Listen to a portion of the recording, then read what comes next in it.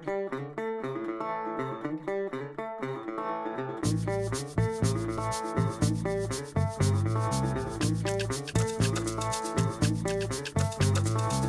your horse's diarrhea can be a frustrating and sometimes an expensive process.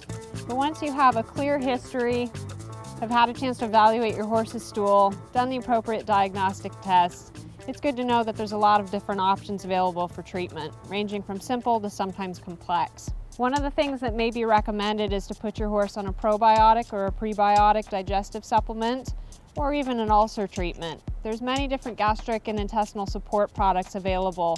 Please ask your veterinarian for his or her recommendation. Your veterinarian may also recommend deworming for your horse. This is best done based on the fecal ovoflotation test. Your veterinarian can guide you on the best treatment or product to use for your horse, whether it's fenbendazole, Pyrantel, or even ivermectin. Your veterinarian may also recommend that you treat your horse with a PowerPac. They can guide you in the best way to administer this very safe treatment for your horse. If your horse has a history of sand colic or is diagnosed as having sand in his fecal matter, your veterinarian may recommend treatment with psyllium. There's a wide variety of psyllium products available on the market, usually commercially available in the form of psyllium pellets. Psyllium acts by binding to sand in the gut and helps it to pass safely out of the intestines. One of the other products that may be recommended is an intestinal adsorbent, such as Bio-Sponge from Platinum Performance.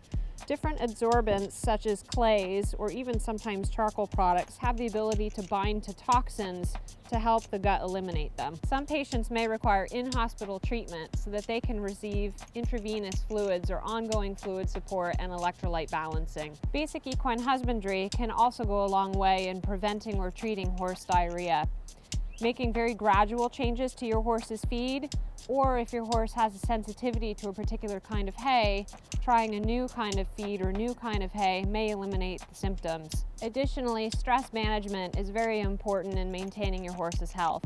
Some horses are actually internalizers and deal with the stress of training and competition by internalizing that worry, which can have an impact on their gut and make them prone to both stomach ulcers and diarrhea.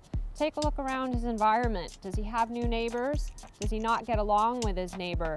Does he not have any access to turnout? Are there other things going on that would create internal problems that can lead to diarrhea? Additionally, things like trailering, competitions, going to shows can also create stress. So making sure that you have an environment that's as harmonious as possible or taking the time and the patience at home to train your horse to happy trailering are steps that you can take to make his environment more stable and happy.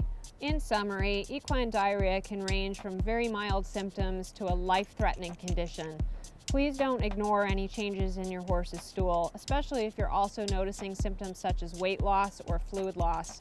Call your equine veterinarian for a consultation and a diagnostic follow-up to make the best treatment choices possible for your horse.